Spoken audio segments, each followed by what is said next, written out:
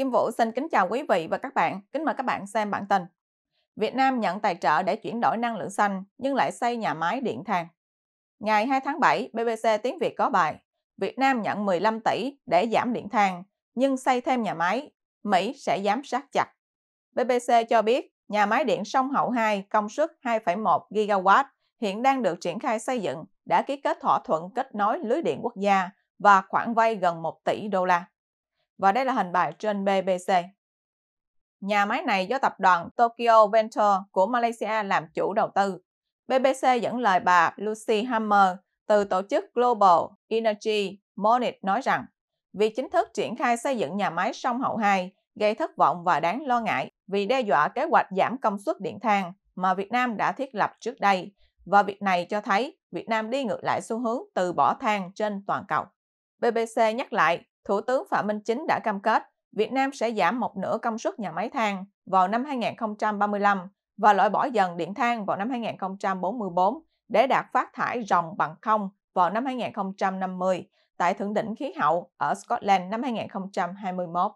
Các thỏa thuận tài chính của các đối tác Malaysia sẽ đặt Việt Nam vào thế bị soi xét kỹ lưỡng do các lo ngại về chính trị, kinh tế, môi trường và sức khỏe cộng đồng, bà Hummer nhận định. Theo BBC, Việt Nam được đánh giá là có nguồn năng lượng gió và mặt trời dồi dào và bậc nhất trong khu vực. Và đây là hình nhà máy sông Hậu 2 đang được xây dựng. Nguy hiểm hơn, công suất điện than mà nhà máy sông Hậu 2 mang lại sẽ đặt Việt Nam vào nguy cơ vi phạm giới hạn 6 GW công suất điện than mới theo gói tài trợ quốc tế trị giá 15 tỷ đô la của thỏa thuận đối tác chuyển đổi năng lượng công bằng, viết tắt JEP. Đáng chú ý là BBC cũng cho biết Việt Nam hiện có 5 dự án điện than chưa được tài trợ, có công suất dự kiến vượt quá 6 GW, bao gồm Long Phú 1, Na Dương 2, Quảng Trạch 1, Vụng Án 2 và Sông Hậu 2. Năm nhà máy này đã được gia hạn đến tháng 6 năm 2024 để quyết định tiếp tục triển khai hoặc hủy bỏ. BBC dẫn tin từ một trang tin tức quốc tế cho biết, theo Bộ Ngoại giao Mỹ, họ và các đối tác quốc tế khác tiếp tục khuyến khích Việt Nam theo đuổi các mục tiêu nêu ra trong chép để triển khai năng lượng tái tạo và chuyển đổi khỏi năng lượng than. Bộ Ngoại giao Mỹ cho biết, chúng tôi đang theo dõi chặt chẽ các báo cáo về khả năng xây dựng và vận hành thêm nhà máy than. Điều này có thể làm phức tạp thêm những nỗ lực nói trên. Chúng tôi sẽ tiếp tục hợp tác chặt chẽ với Việt Nam để thực hiện những cải cách cần thiết, loại bỏ dần việc sản xuất điện đốt than, tăng cường năng lượng tái tạo để đáp ứng nhu cầu điện, đồng thời quy động nguồn tài chính đã cam kết để đạt được những mục tiêu này. Và đây là hình những nhà hoạt động môi trường bị bắt. BBC dẫn lời ông Jack, giám đốc chiến lược cấp cao về khí hậu quốc tế tại Hội đồng Bảo vệ Tài nguyên Thiên nhiên cho biết, không phải là một dấu hiệu tốt nếu một quốc gia như Việt Nam tiếp tục đầu tư vào than.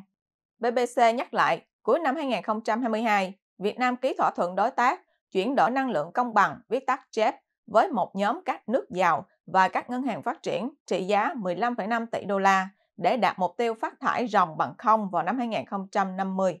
Các nước tài trợ gồm các quốc gia thuộc khối G7, EU, Na Uy và Đan Mạch. Tuy nhiên, vẫn theo BBC, còn nhiều câu hỏi đặt ra về tính khả thi và minh bạch của quá trình này, nhất là khi Việt Nam đã cho bỏ tù nhiều nhà hoạt động môi trường hàng đầu. Những người lẽ ra đóng vai trò giám sát độc lập việc thực hiện cam kết đầy tham vọng này. Đó là bà Nguyễn Thị Khanh, ông Đặng Đình Bách, bà Hoàng Thị Minh Hồng và bà Ngô Thị Tố Nhiên.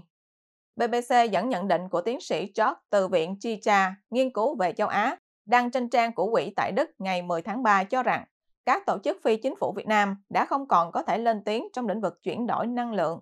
Các vụ bắt bớ và truy tố, theo ông cho thấy, sự tương phản sâu sắc với những cam kết trong thỏa thuận JEF với phía Việt Nam về cơ chế tham vấn.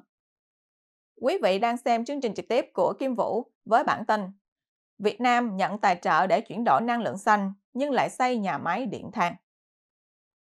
Xin mời quý vị và các bạn chia sẻ video này cho nhiều người biết và bấm nút theo dõi trên YouTube và Facebook của Thời báo chấm đề để luôn được cập nhật bản tin mới nhất, nhanh nhất và trung thực nhất. Kim Vũ xin kính chào các bạn và hẹn gặp lại các bạn trong chương trình lần tới.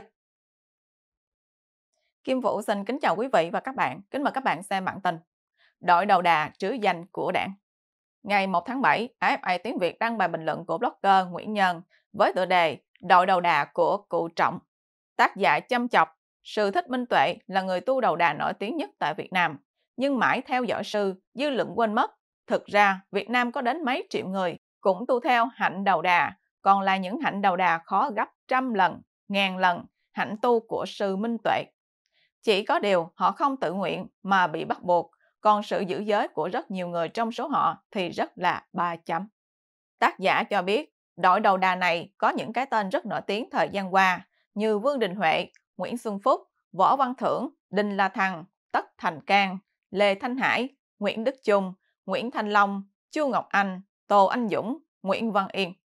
Sự minh tuệ tu đầu đà chỉ có 13 giới, còn những người tự nguyện xung vào đội quân đầu đà trứ danh kia, họ bị áp vào những tiêu chuẩn phẩm hạnh và đạo đức cao đến không tưởng, hầu như không thể thực hiện được. Và đây là hình bài trên AFA. Tác giả trích lược một số điều trong quy định chuẩn mực đạo đức cách mạng của cán bộ, đảng viên trong giai đoạn mới có hiệu lực từ ngày 9 tháng 5 như sau. Suốt đời phấn đấu cho mục đích, lý tưởng của đảng, hết lòng, hết sức phụng sự tổ quốc, phục vụ nhân dân, đặt lợi ích quốc gia, dân tộc, lợi ích chung của đảng, nhà nước và của nhân dân lên trên hết, trước hết. Dám nghĩ, dám nói, dám làm, dám chịu trách nhiệm, dám đổi mới. Chủ động nâng cao kiến thức, kỹ năng, năng lực công tác, làm việc trong môi trường quốc tế. Tâm huyết, trách nhiệm, dấn thân, nỗ lực hoàn thành tốt nhất nhiệm vụ được giao. Quản lý, sử dụng tài sản công đúng mục đích, đúng quy định, tiết kiệm và hiệu quả, không sao qua, lãng phí thời gian, tiền bạc, công sức và các nguồn lực vật chất khác. Trong sạch, không tham ô, tham nhũng, tiêu cực, không gây phiền hà, sách nhiễu. Trung trực, thẳng thắn, khách quan, công tâm, không giấu khuyết điểm, không nói sai sự thật, thấy đúng phải bảo vệ, thấy sai phải đấu tranh. Nêu cao lòng tự trọng, danh dự, không cơ hội chính trị, tham vọng quyền lực, không để tác động lôi kéo, cám dỗ tiêu cực, không để gia đình, người thân và người khác lợi dụng chức vụ, vị trí công tác để trục lợi, bảo vệ uy tín, danh dự của bản thân và tổ chức đảng.